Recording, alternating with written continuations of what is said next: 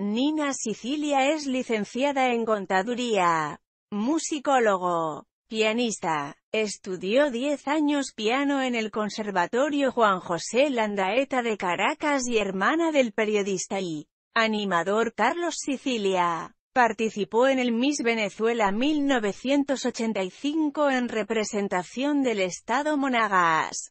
En dicho concurso ganó la banda de Miss Elegancia y llegó de tercera a la final, lo que la acreditó como para representar a Venezuela en el Miss Internacional. En agosto de 1985 viajó Japón para el concurso el cual se realizó en el Science Exposition Plaza de Sucuba el 15 de septiembre de 1985.